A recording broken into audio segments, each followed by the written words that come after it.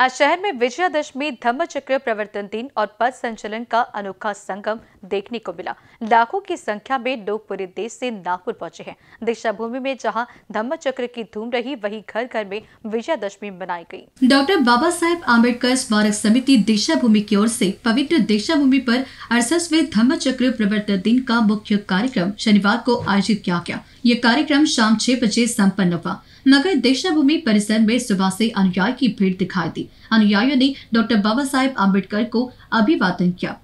यहाँ जगह जगह लोगों के भोजन की भी व्यवस्था सामाजिक संस्था की ओर से की गई थी। इसके साथ ही 10 अक्टूबर को पहले दिन बदनते नाकाचुन सुरेश ससाई बनते नागवंश बनते नागसेन बनते प्रज्ञापोति बनते महानाका बनते धम्म प्रकाश बनते धम्म विजय बनते नागवंश एस बनते भीमा बोधी बनते अश्वचित, धम्मशिला की उपस्थिति में 700 से ज़्यादा लोगों ने धम्म दीक्षा ली थी।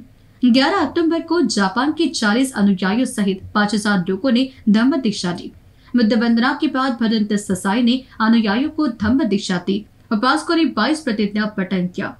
कैमरा पर्सन राजकुमार बोहट के साथ अभिषेक पांसी की रिपोर्ट।